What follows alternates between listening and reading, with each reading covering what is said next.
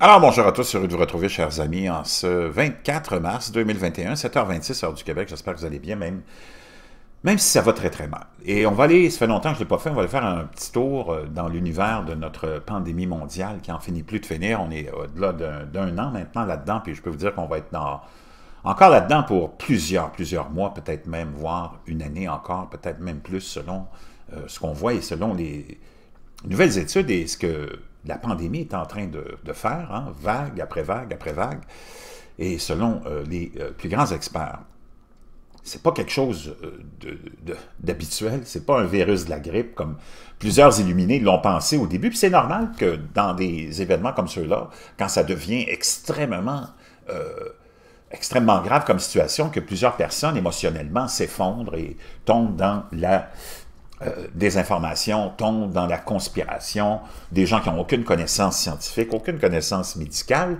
sauf leur ignorance et leur envie de toujours, toujours relier tout à une conspiration. Qu'est-ce que vous voulez? Ça fait partie de la nature humaine. Puis là-dedans, tu as même des fois des pseudo-scientifiques ou des pseudo-médecins qui viennent en rajouter de l'huile sur le feu, alors que c'est des gens qui n'ont aucune spécialité et aucune connaissance de la situation euh, dans laquelle on est et qui parlent aussi à partir de leur propre ignorance, juste pour se faire un peu de capital politique et de la publicité. Donc, on a sauté aux conclusions, on a tout de suite pensé que c'était une fumisterie. Naturellement, tu le président des États-Unis qui l'a pensé lui-même, parce qu'il était en campagne électorale. Et tu as toutes sortes d'illuminés qui ont écouté, parce qu'il était quand même populaire, et ont pensé que Donald Trump disait la vérité, alors que c'est le plus grand menteur de l'histoire de, justement, l'humanité. Et on sautait aux conclusions, on comparait ça au virus de la grippe et patati et patata, alors que c'est complètement, complètement le contraire. Donald Trump a même avoué dans des enregistrements avec Bob Woodward que c'était un virus extrêmement mortel, qu'on ne savait même pas comment s'en débarrasser, comment le gérer. Il dit ça n'a rien à voir avec la grippe, c'est cinq fois plus mortel qu'un virus de la grippe. Et on apprend ça dans plusieurs une étude, entre autres aujourd'hui, dont je vais vous partager euh, les données qui sont euh, les découvertes qui sont très inquiétantes.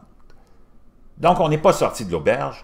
Donc, comme je vous disais, les gens, euh, naturellement, c'est normal, tu es face à une, inquiétude comme celle-là, que tu penses tout de suite que ça, tu veux te donner l'illusion, peut-être que c'est rien de grave, mais c'est quelque chose de très, très grave. On est rendu à plus de 2 millions de morts, je pense, dans le monde. Aux États-Unis, ils approchent les 600 000. Au Brésil, hier, on a eu 3 000 morts. C'est quelque chose qui en finit plus de finir. L'économie s'en va, on ne sait pas où, euh, des confinements après confinement après confinement, couvre-feu, couvre-feu, et c'est partout dans le monde, tous les pays sont confrontés à la même situation.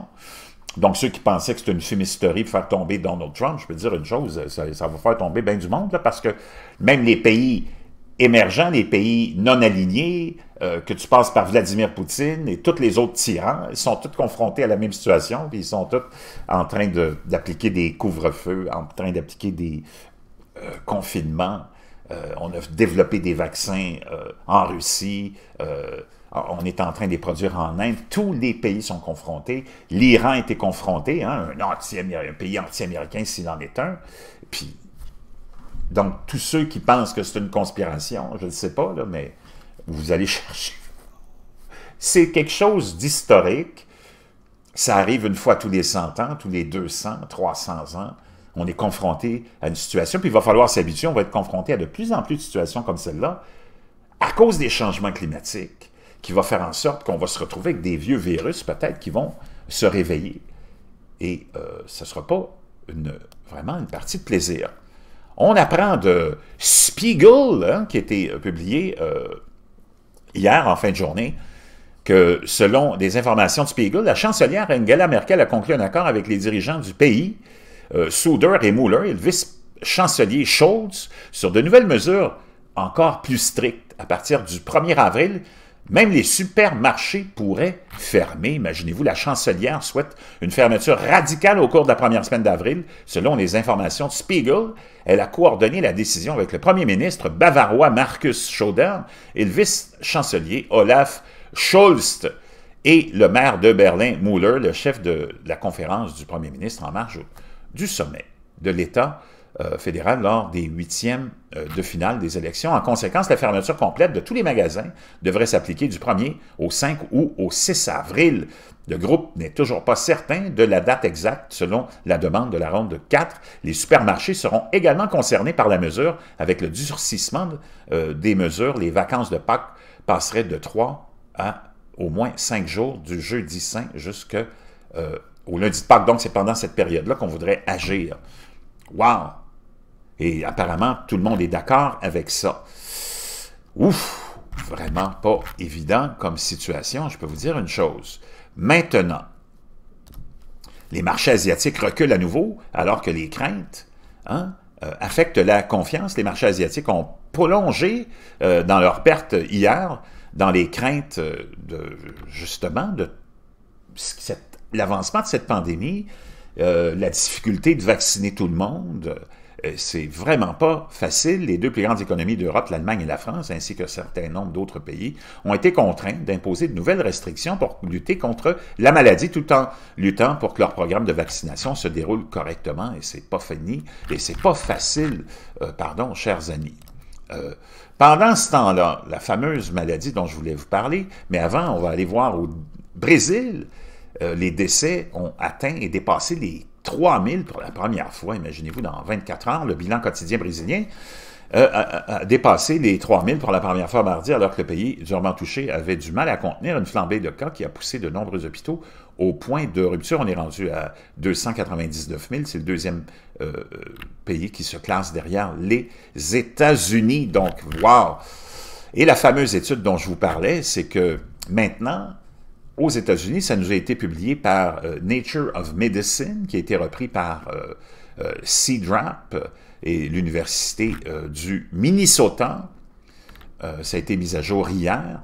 Les États-Unis devraient créer des cliniques COVID multispécialisées dédiées au traitement des patients souffrant encore de graves effets multi-organes de l'infection bien après la guérison d'une maladie aiguë, affirment les auteurs d'une revue complète dans la littérature sur ceux qui sont encore pris avec des effets après longtemps, longtemps après avoir supposément guéri. Ça a été publié dans euh, Natures of Medicine.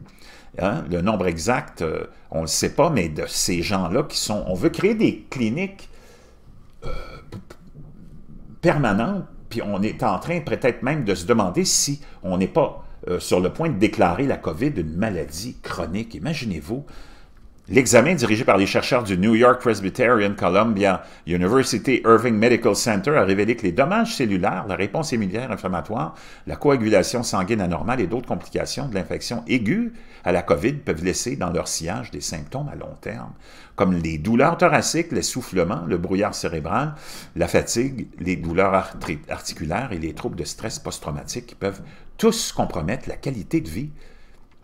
Donc, on est en train de se demander si euh, ce n'est pas une maladie euh, chronique. Les chercheurs ont appelé à la création de cliniques dédiées, hein, similaires à celles qui apparaissent en Italie, à la priorisation de ceux qui, à haut risque de symptômes à long terme tels que ceux d'un âge avancé ou avec une infection aiguë sévère nécessitant des soins intensifs, maladies respiratoires préexistantes, obésité, diabète, hypertension artérielle, maladies cardiovasculaires chroniques, maladies rénales chroniques, transplantation d'organes ou cancer actif. Wow!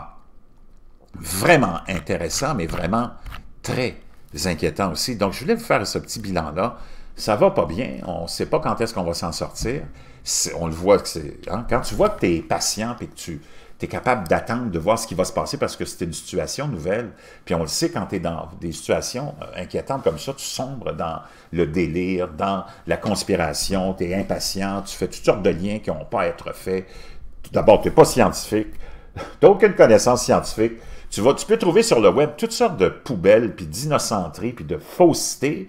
Et on l'a vu, ça a été le cas dans cette histoire de pandémie-là, c'était une épidémie de fausseté partout, des pseudo-médecins, des pseudo-spécialistes, des pseudo-épidémiologistes, tout du monde anonyme qui ont aggravé la situation parce qu'ils ont mis dans la tête de certaines personnes plus faibles dans nos sociétés que c'était une fumisterie, c'était juste une petite grippette. Donc, c'est important de faire le point là-dessus, c'est important d'être rationnel, garder notre tête sur les épaules, d'être patient. Qu'est-ce que tu veux? Si tu regardes l'histoire de l'humanité, il y en a eu des histoires euh, pas facile, tragique. On est toujours passé à travers. Des fois, ça prend plus de temps. Puis c'est pas toujours une conspiration. La conspiration, souvent, plus souvent qu'autrement, c'est dans la tête des gens. Donc, faites attention où vous allez chercher vos informations. C'est de notre rôle, surtout nous qui avons des plateformes hein, de supposées chaînes alternatives, d'être responsables sur les informations qu'on va euh, partager. Je vous reviens avec d'autres choses aujourd'hui, c'est sûr. Restez là.